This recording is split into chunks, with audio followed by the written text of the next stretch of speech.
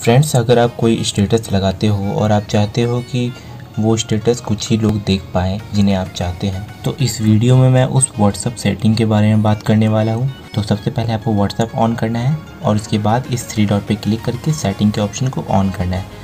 On करने के बाद आपको अकाउंट्स के ऑप्शन पे जाना है। फिर इसके बाद प्राइवेसी के ऑप्शन पे क्लिक करना है। क्लिक करने के बाद आपको स्टेटस के ऑप्शन पे टैप करना है। इसके बाद आप देख सकते हो फ्रेंड्स यहाँ पे तीन ऑप्शन आ रहे हैं। जिसमें से अगर आप माई कॉन्टैक्ट पे क्लिक करते हो तो आपका स्टेटस उन लोगों को दिखेगा जिनका नंबर आपके मोबाइल में सेव है।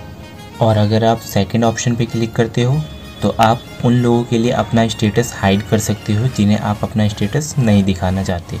जैसा कि मैं इनमें से किसी भी कॉन्टैक्ट को अगर सिलेक्ट करता हूँ तो मेरा स्टेटस इन लोगों को शो नहीं होगा।